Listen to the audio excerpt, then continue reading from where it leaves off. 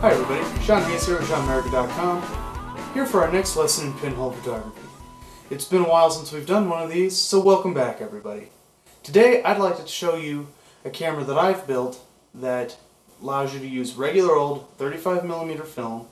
You don't have to change the film cartridge in any way so that you can take it to the one hour photo place and get it developed anywhere that does one hour processing or overnight processing, whatever you'd like, but it makes it really easy to do film-based pinhole photography without having a dark dark room. So, here it is. Doesn't look like much right now, but the real key is what's inside. Open this guy up. I'll let you have a look at it right here. If you can see inside of there, that is the entire mechanism. So if we look right here, this is the inside of a 35 millimeter film roll. Go to any one hour place, they will give you those by the handful, they just throw those bad boys away. And I've taken, and I've taken some bolts, and I've made it so that I can rotate it and put a little slot right in it right here so you can feed the leader of the film into that. Now, this side is where all the magic happens. You see this bolt in here? What I've done is I've taken and I have carefully filed it down to be like that and that will fit in the little cog on the top of the film canister roll. And then this screw right here comes out. You undo this.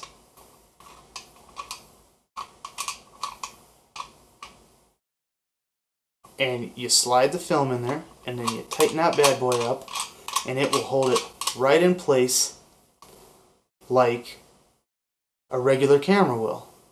And then up top here I've got it so that you have an advance knob and approximately one turn is an appropriate frame and then I have so that you can rewind it.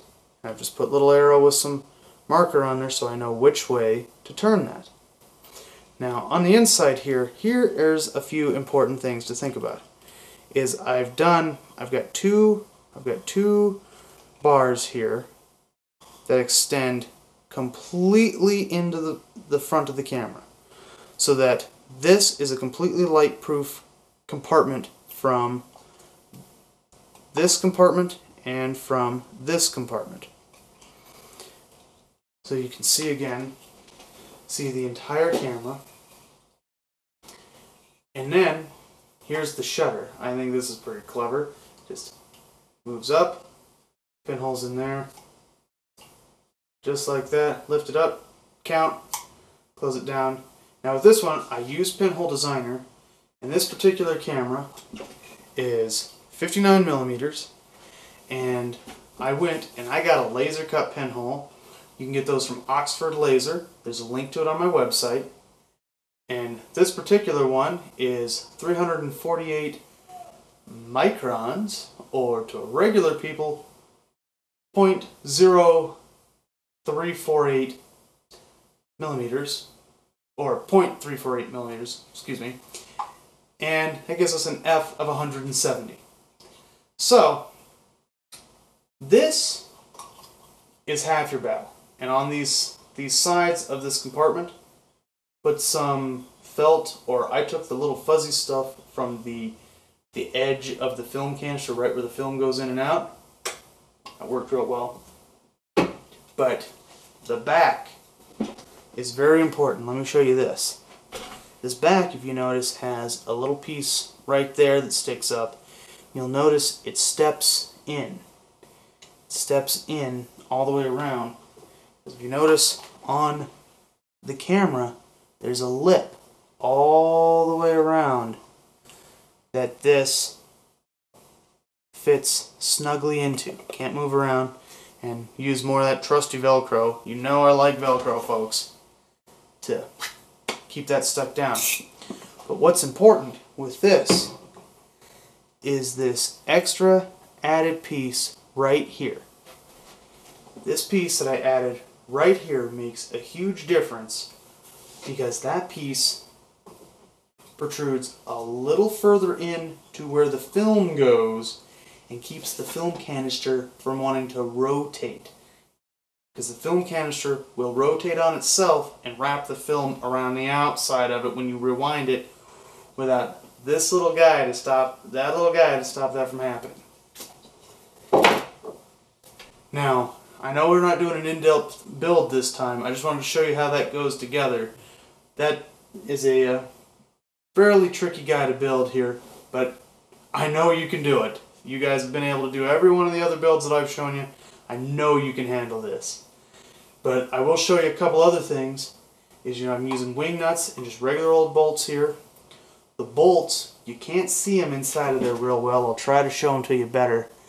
I have rounded the edges off just a little so that it'll spin inside of there.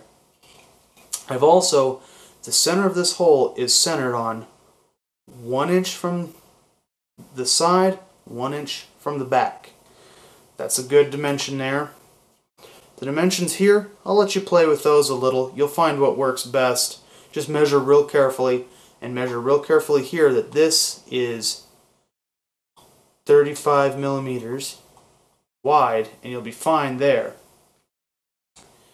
Now on the bottom I've taken a piece of this no slip stuff that you put in a drawer that helps keep the camera from wiggling around on the tripod and I've got a quarter inch by 20 thread bolt that I've embedded in there that I've glued in there that will accept any that's the regular tripod thread and then for this little bolt I've used this and this will come all the way out let me show you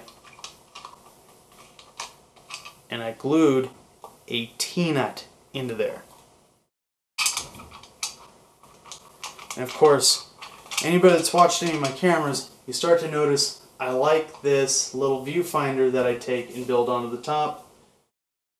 You know, with pinhole photography, you never quite know what you're going to get, but it's at least good to have something to help you kind of get an idea of what you're going to get. And then I've also, on the back, covered this with felt that'll prevent any light from getting in there. Very important. And you'll see I've kind of got this blocky handle guy on here. You don't need that. That was actually part of an experiment for how I was going to keep it closed that wound up failing. But makes kind of a nice handle. You don't need it. But you can put it on if you want. Okay, if you get real adventurous and want to build something really cool to impress your friends, check this guy out. That's right. Bellows. You saw that. Look on my website. I've got several links to some good information about how to build bellows. Again, I'm not doing a full build this time. I'm really sorry, but this camera's really complicated and I don't think I could show it to you in a YouTube video. But same idea, built a rail. The camera portion is exactly the same as this, just with bellows on the front. Just use the wing nut and the bolt so you can change your focal length and get different uh, and that that actually will act a little bit like a zoom lens. Now I have discovered with this camera, this was a bit of an experiment, that really to get a real zoom effect, you'd need probably a camera well, that long. And you would only really get to see a difference between the very furthest and the very closest in. But I still think this camera is really fun, and what I do like about it is even though you don't see a lot of difference in your angle of view, what you do see a difference in is your f-stop, and I've got I've got them all marked out here, and you know the documentation you can print out for your reciprocity data from Pinhole Designer, I printed out a whole stack of those for each different spot that I marked on here that I can place it at. And what you can find is if you want to do longer or shorter exposures to do cool things with cool ghosting by standing in front of it for a minute and moving and getting a cool ghosting effect, this camera lets you do that. So if you want to move it out get really lengthen up that exposure time, you can do that or shrink it down speed up that exposure time is this camera. Very accurate, very predictable. However, in full sunlight, with it only being 59 millimeters and only 170 f, can be kind of quick. You know, I see times of quarter second times. And by getting quarter second times, you don't get the depth of field that you will by letting that puppy sit for a minute, two minutes, etc. So, some fun things to think about with pinhole photography. I hope you're out doing it. I really love this stuff. I hope you can love it too. And, well, here it is. This is my baby right here. 35 millimeter pinhole. You can do it too. This is Shaun Hayes signing off with ShaunMerica Audio and Visual. Happy pinhole.